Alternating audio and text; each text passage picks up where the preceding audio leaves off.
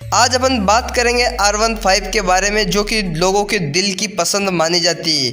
Are one five India की best bike में से मानी जाती है और आज अपन इंडिया की आर वन फाइव के बारे में आज पूरा रिव्यू करेंगे, जानेंगे इसके खास सिस्टम या कहीं स्पेसिफिकेशन के बारे में आज अपन क्लियरली जानकारी लेंगे। पहले मैं आर वन फाइव के बारे में आपको बताना चाहूँ तो इसकी price one point twenty seven या कहीं एक लाख सत्ताईस हज़ार से एक लाख तीस हज़ार तक ये आपको एक शोरूम प्राइस है। वो दे रहा है one fifty five c c engine जो कि एक लाजवाब इंजन माना जाता है।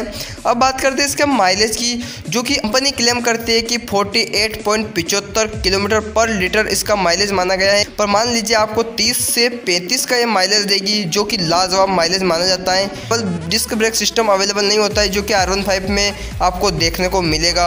अब बात करते हैं इसके कलर की। ये आपको थ्री कलर में प्रोवाइड होगी मेट ग्रे मेट ग्रे जो कि आप सभी जानते होंगे, जिस पे आपको धूल लगने के बाद धूल दिखाई नहीं देगी। अब बात करते हैं ब्लू कलर की, जो का लुक काफ़ी ड्रेसिंग लगता है, जो कि एक लाजवाब है।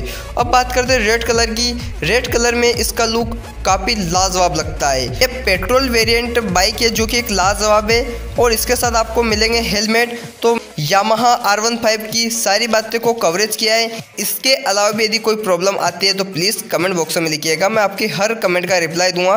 वीडियो अच्छा लगने पे एक लाइक कर दीजिएगा। चैनल पे नए हो तो चैनल को सब्सक्राइब भी कर लीजिएगा।